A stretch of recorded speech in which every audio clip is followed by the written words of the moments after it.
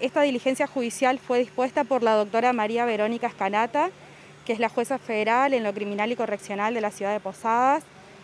Nosotros venimos a dar cumplimiento a la quema conforme lo previsto en el artículo 30 de la ley 23737, que es la ley de estupefacientes.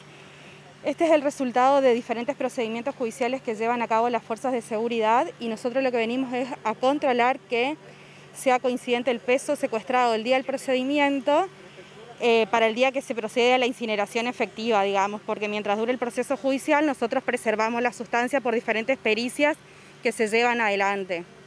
Así que bueno, esa es, esa es la diligencia que venimos a hacer en el día de la fecha.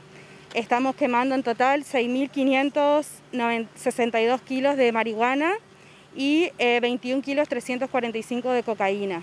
6.500 y algo de kilos de marihuana y 21 kilos 345 de cocaína. Bueno, digamos que no solamente Gendarmería, sino que Prefectura y otras fuerzas también. Sí, todas las fuerzas de seguridad, la Dirección de Toxicomanía de la Policía de la Provincia, la Gendarmería Nacional, Prefectura Nacional, eh, Policía Federal también, todas las fuerzas de seguridad que realizan los diferentes procedimientos y secuestran estupefacientes en el marco de nuestras causas judiciales, nosotros venimos y y hacemos eh, cumplir lo que establece el artículo 30.